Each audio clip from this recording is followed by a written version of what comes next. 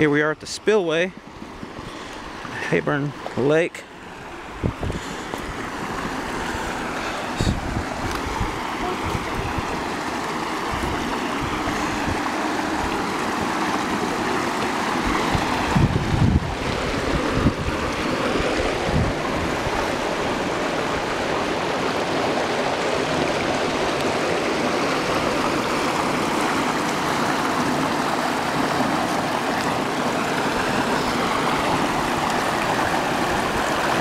This is where they let the water out and stuff. And a lot of times you'll see turtles and stuff trying to climb back up in there in the water and fish jump back up in there. And there'd be a lot of times be those alligator gar down here in the water flapping their tails around here.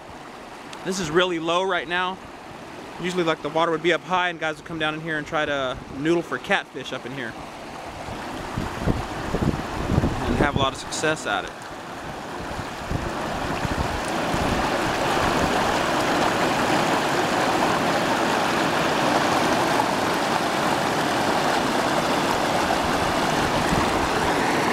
Be back.